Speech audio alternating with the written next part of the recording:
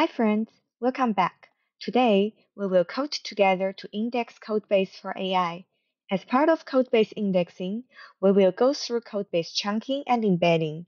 Codebase chunking is a process of breaking down a codebase into smaller, semantically meaningful chunks. CocoIndex leverages Tree-sitter's capability to intelligently chunk codebase based on the actual syntax structure rather than arbitrary line breaks.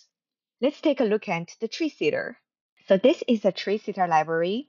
It is used to parse source code into concrete syntax trees usable in compilers, interpreters, text editors, and static analyzers. It is specialized for use in text editors as it supports incremental parsing for updating parse trees while code is edited in real time. The core engine of CocoIndex is written in Rust, and CocoIndex has built-in Rust integration with tree sitters to efficiently parse code and extract syntax trees for various programming languages. Let's first look at CocoIndex documentation. Split recursively is a native built-in function for chunking. To use split recursively for code-based chunking, you will need to specify a language. It can be a language name, for example, Python, JavaScript, or a file extension for example, .py, .js. To see all the supported language names and extensions, you can take a look at the code here. And we can quickly browse and take a look at what is supported. C++, C Sharp, CSS, Go, HTML, JavaScript, Markdown, Python, Rust, and many others.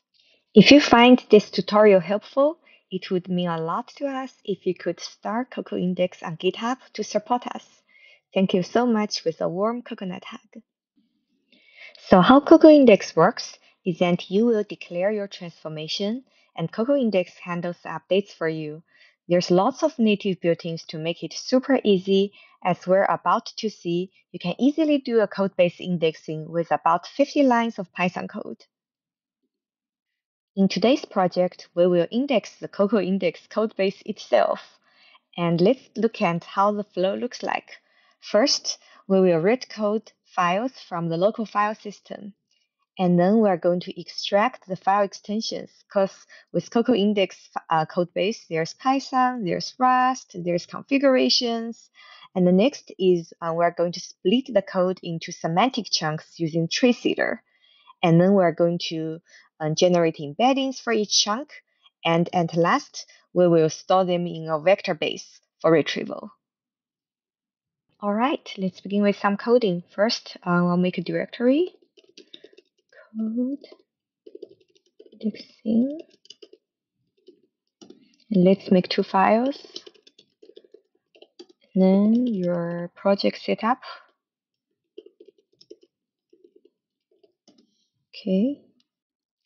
Let's open the PyProject TOML and the project setup here. Make sure I add CocoIndex as the dependencies. And we will install the dependencies.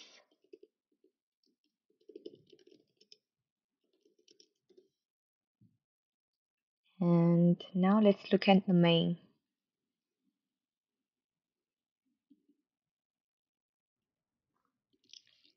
Let's import the dependencies. Let's add the codebase as source. In this example, we're going to index the CocoIndex codebase from the root directory. You can change the path to the codebase you want to index. We will index all the files with the extension of Python, Rust, TOML, Markdown, MDX, and we will skip a few directories um, we are using flowbuilder.addSource. It will create a table with the following subfields, including the file name and the content of the file.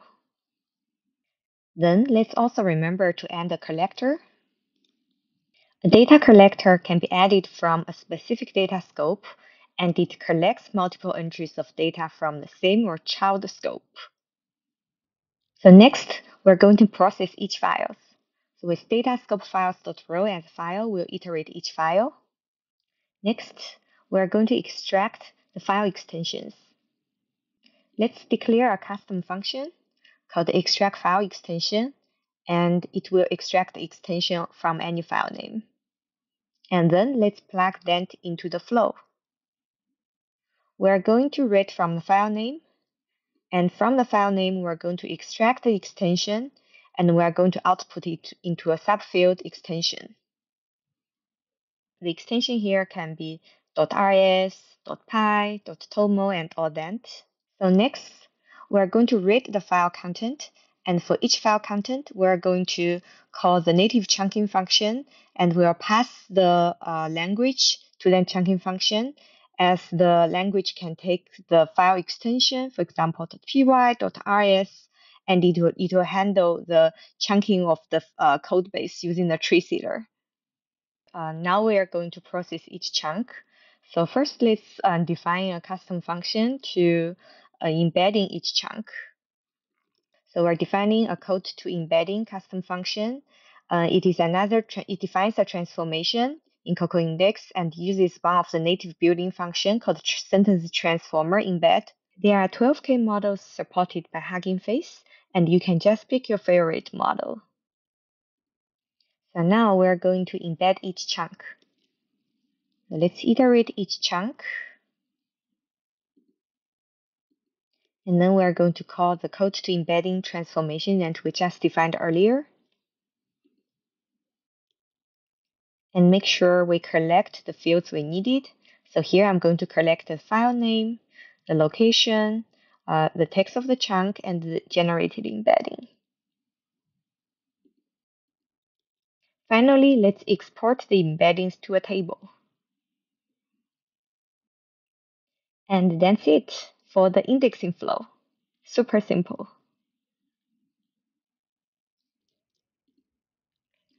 I'm just going to quickly enter query handler and uh, use the code, uh, the same code embedding flow as above and choose the cosine similarity as default.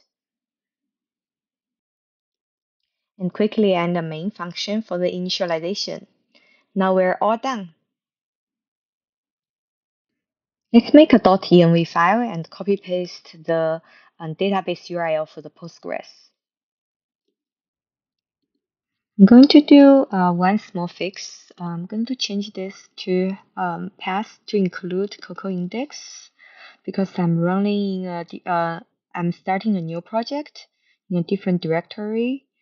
Um, and also I want to test the new incremental update feature um, so I'm just going to add this refresh interval uh, with 10 seconds.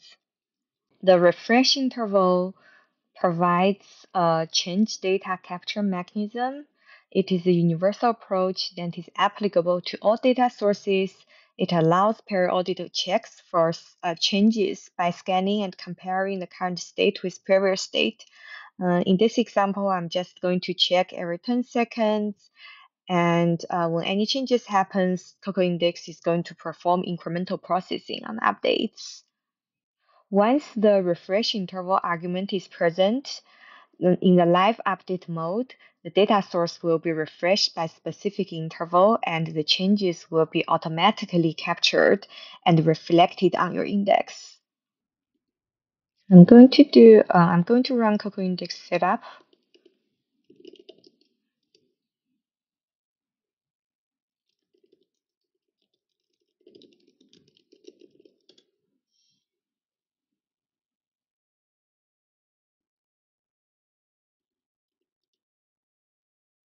and then update the index.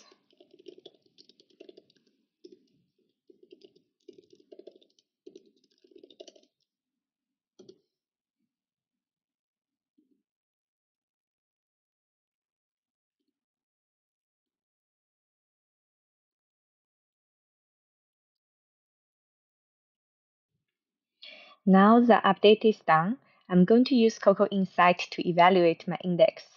CocoInsight provides you the best-in-class tools to understand your pipeline step by step, explains and helps you choose the best indexing strategy. It has zero data retention to your pipeline data. I'm going to run it with a dash L, then it's going to trigger the live update mode to make sure your source and destination are continuously updated.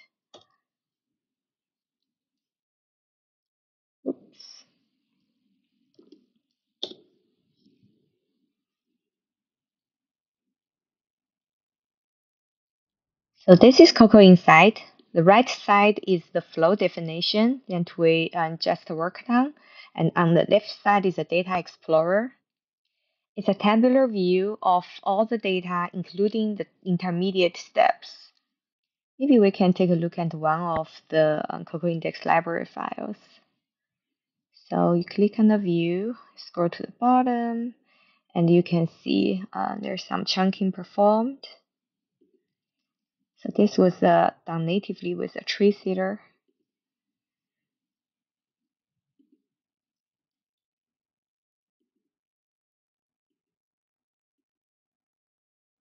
So now we're go. Let's let's add a new query. Then we'll um, perform a search, and uh, I'm going to change this to cosine similarity.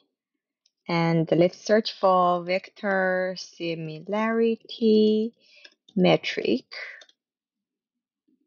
Search, and we can see um, the second match here, uh, there is going to be the vector similarity metric.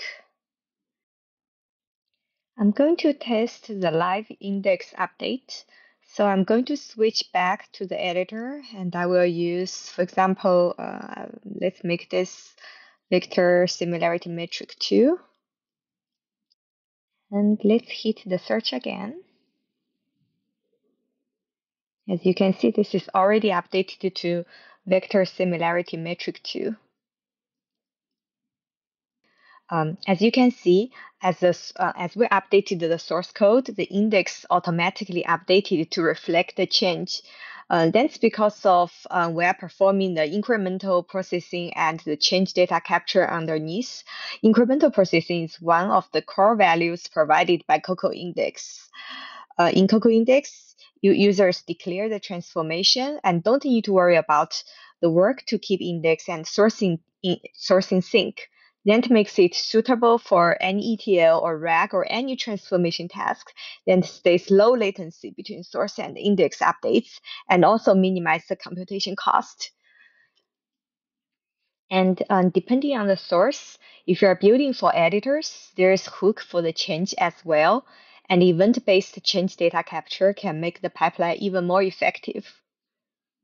You can find the um, you can find the full source code in the CocoIndex examples repo. Uh, it's right there. If you find this tutorial helpful, please support us with a GitHub star to subscribe the latest changes. And thank you so much for your support. Please feel free to DM me or leave a comment if there's any example you'd like to see to build with CocoIndex, or if there's any topics you want to talk about in the ETL, RAG, data infra in general. All right, see you soon.